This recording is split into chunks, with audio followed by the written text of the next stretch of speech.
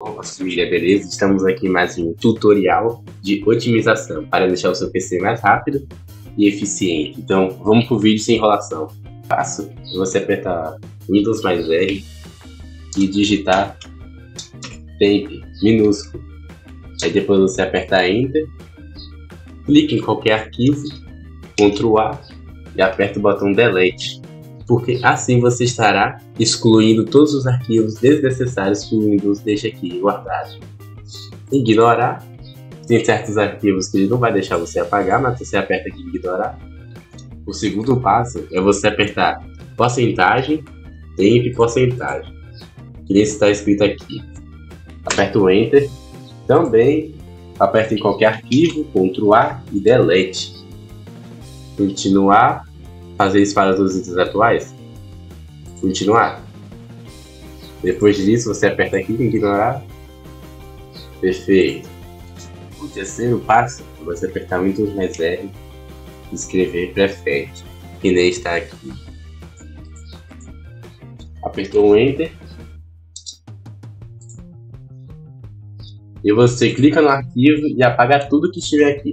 No meu só tem pouco arquivo, então eu não vou apagar não. Agora, para o próximo passo, o que iremos fazer? Iremos apertar aqui, escrever desfragmentação.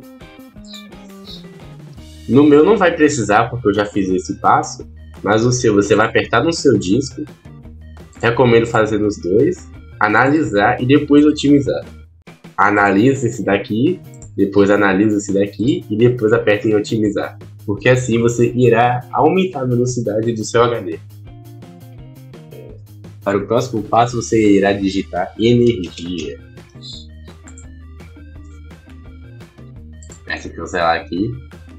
Aí o que, que você faz? Você vai criar um plano de energia, sei lá, bota qualquer nome, sei lá, tutorial.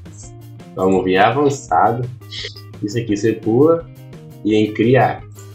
Só que no seu, provavelmente, que eu já fiz esse passo, vai estar aqui uma abinha aqui nessa daqui, você vai apertar e vai botar alto desempenho. No meu já tá no recomendado aqui, então não vou mexer.